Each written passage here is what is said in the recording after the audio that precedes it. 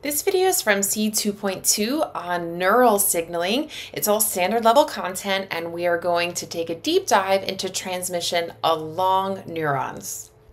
Neurons are specially adapted cells that can carry electrical impulses, and we call that a nerve impulse. So, nerve impulses are electrical signals that can be passed between two cells. They can go between a neuron to another neuron, or a neuron to a muscle, or a neuron in a gland, lots of things.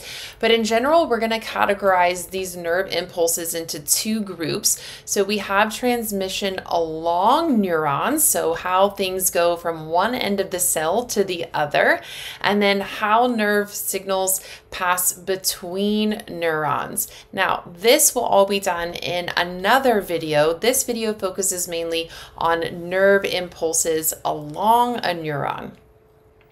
Throughout this video, you're going to hear me refer, refer to this term membrane potential quite a lot. And when we think about membrane potential, I really need you to associate that with voltage, okay? So voltage is an imbalance of charges on either side of the membrane. And so when we think about an imbalance of charges, that's going to give us either a relatively positive charge or a relatively negative charge charge. Okay, now at rest, the inside of our neurons needs to be relatively negative at about negative 70 millivolts. That's our resting membrane potential.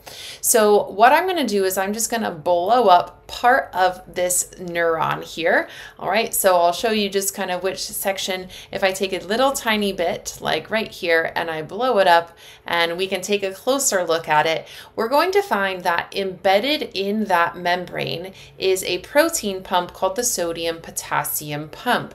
And what the sodium potassium pump does is that it establishes resting potential by actively transporting sodium to the outside and potassium to the inside. Okay, so now when I say active transport, what we mean is that it requires ATP and we're generating a concentration gradient. Okay, so sodium potassium pump is using ATP to actively pump sodium ions to the outside and potassium ions to the inside of the cell. And this is what our cells are going to look like at rest. Okay, so at rest, what I should notice is that the sodium ions are on the outside, the potassium ions are on the inside, that the relative voltage of the cell is negative, again, to the tune of about negative 70 millivolts, and that is all established via active transport by the sodium potassium pump.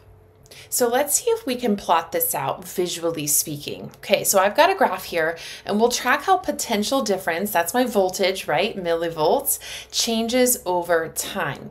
Now, at rest, our cell is relatively negative. So we set it about negative 70.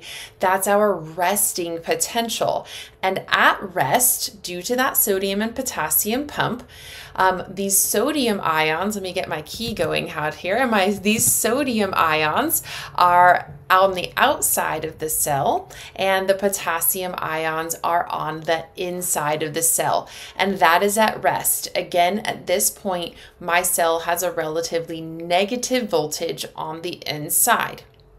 During a nerve transmission, what's going to happen is that sodium ions are going to move into the cell. And because sodium ions are positive ions, you can guess that their movement into the cell is going to cause that cell to become relatively positive in its voltage.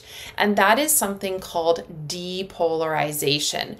So, in depolarization, this is the membrane potential going from negative to positive.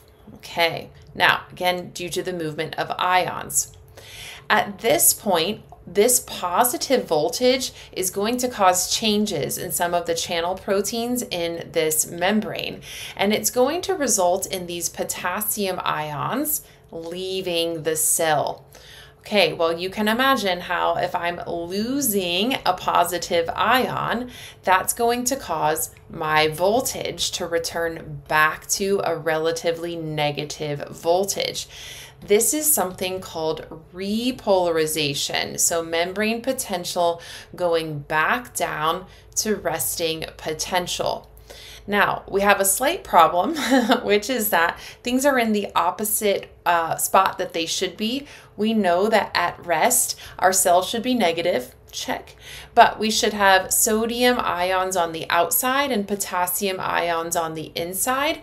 So that is actually the job of the sodium potassium pump that we just learned about to pump the sodium ions to the outside and the potassium ions on the inside to restore that resting potential. And so now after this nerve impulse, I am back at the resting potential. So here are all of these things in text that we just showed in uh, a visual. So the steps look like this. Voltage gated sodium ion channels are going to open. So these are transmembrane proteins located in there. And when we say voltage gated, that means that they are going to open and close based on voltage. So when there is a stimulus that is strong enough, it is going to open the sodium ion channels. Remember, there's a high concentration of sodium ions on the outside of the cell due to the pumping by the sodium potassium pump. So, when those channels open, those sodium ions are going to diffuse into the cell. That's just facilitated diffusion. That's passive movement. And that's going to cause depolarization. So the cell is going to go from a relatively negative voltage to a relatively positive voltage on the inside.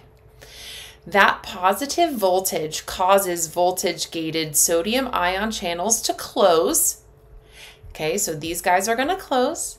And it causes voltage gated potassium ion channels to open.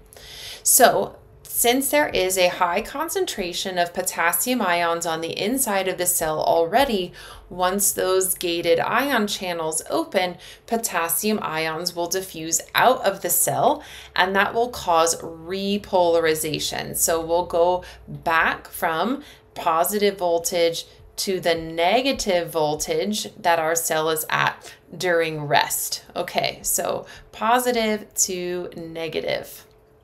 And then the last thing that we showed was that sodium potassium pump re-establishing resting potential by actively pumping the sodium ions out and the potassium ions in. So if we're asked anything about like what's the role in ATP or of ATP in nerve transmission along neurons, we can be thinking about the sodium potassium pump. Otherwise, it's really the change in voltage here that's opening up these ion channels and propagating that nerve impulse along the axon of the nerve fiber. Now, these nerve impulses along a neuron are what we call self propagating. That means once you get them started, it's like a string of dominoes, okay? And those events will continue to move along the axon. So when I say axon, I just want to be clear. Um, nerve transmissions only happen in one direction. They start at the dendrites, okay? And it moves along the axon and it will end at this place called the axon terminal. So we're really only looking at nerve transmission happening in this direction. So what happens when we get that initial impulse that opens up those sodium ion channels is that positive voltage.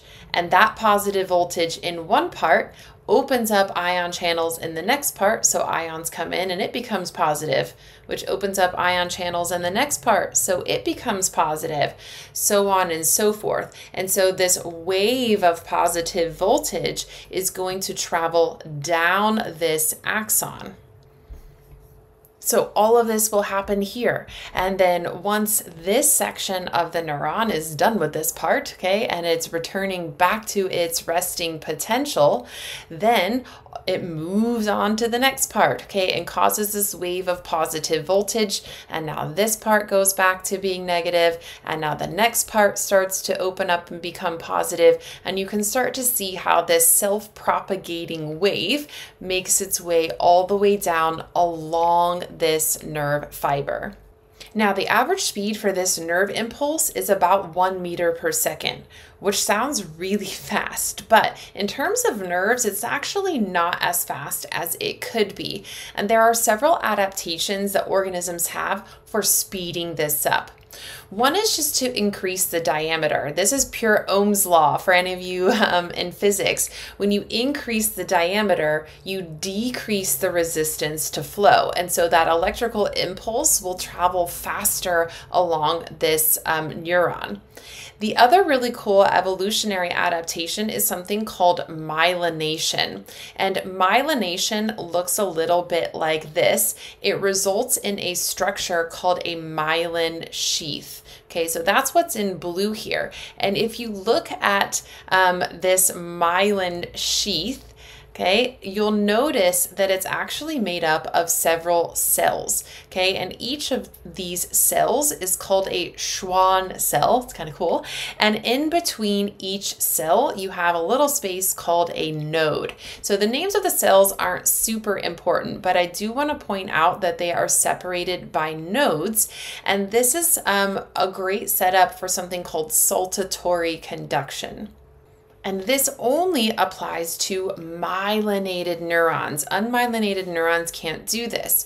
So in unmyelinated neurons, you have to have sodium in, out, in, out, in, out, in, out, in, out, in, out, all along the axon.